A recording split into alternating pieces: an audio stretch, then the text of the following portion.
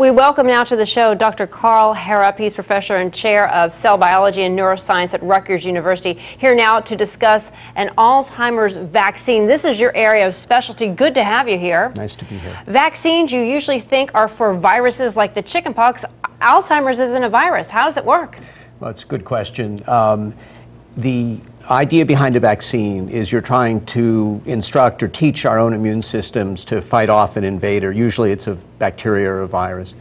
Um, but the idea that scientists had was that if they could teach the immune system of uh, a middle-aged person to recognize the uh, Alzheimer's deposits in the brain as an invader, that we could probably use the, our own immune systems to fight Alzheimer's or at least to fight these deposits. So you're saying give it to, or the thought is all middle-aged people, people in their 50s, so, as a prevention? Yeah, so you've hit on one of the huge problems here because we don't actually know that the vaccine is going to work. Scientists never know a vaccine is going to work until you test it. And the problem with Alzheimer's is right now we have no really truly reliable biomarkers to let us know, apart from the loss of memory and, and, other symptoms, whether you have the disease.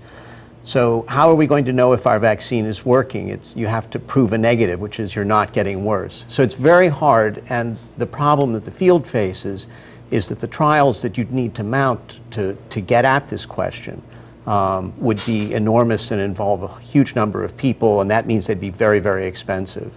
So we're stuck, stuck there. Is there a genetic predisposition for this disease, or is it just a natural part of aging in some people, or maybe you just don't know? It's more common with age. In fact, your risk goes up uh, dramatically with age. Um, there are rare forms of the disease that are genetically inherited, so you inherited an Alzheimer's disease gene from your parent, and we're discovering new genes uh, that affect your risk. So if you have the genes, it's, it's not a sentence to get Alzheimer's, but it ups your risk.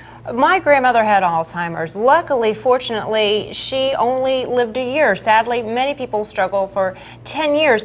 Fact of the matter was, though, we couldn't diagnose until after she was passed and had an autopsy. What's the difference between dementia, Alzheimer's, and how do we know?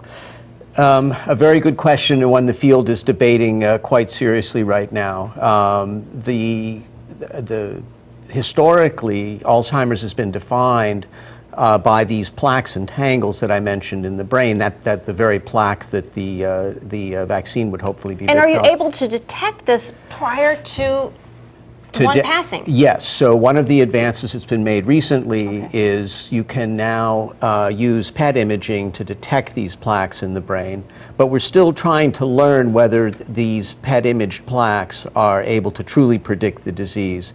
Very much a work in progress. How far away is the vaccine? What's the status of trials? And is there anything that people can do with their diet to avoid this plaque? I've been hearing a lot about that. Um, the vaccine, are there some major trials that are going to be uncovered uh, within, I would say, the next few months, um, and and we'll see how it goes. Uh, obviously, even if it's hugely successful, it will be time before um, it's widely available. As I say, trying to prove that it's going to work in people who can actually use the vaccine is a problem. Um, in terms of what people can do now, actually, uh, it, it recommendations vary, but I would say exercise, both mental and physical, is the best. And just as far as your diet goes, anything your mom told you is healthy, it's probably a good idea. What have the trials looked like so far in mice? Are their brain cells regenerating? Is it sort of like flowers for Algernon that we're seeing? Tell me. so we can we can certainly cure mice, uh, but the problem is that that's not going to help uh, health policy in the United States very much. Um, the mice that we cure have been actually engineered, so in some ways we're cheating because we're fixing something that we broke. Um, but we have to start there because uh, this is a disease of aging, a disease that takes many years to develop, and research just needs to uh, proceed more quickly. You're saying it's promising. You also have a population that is aging. More people are living longer, for better or worse. So more and more people may be having to face this, uh, children having to watch their parents go through this. That's absolutely correct. It's a huge uh, burden on not just the health system, but on the caregivers uh, who are, you know, family members and and and uh, and friends and relatives of the individuals.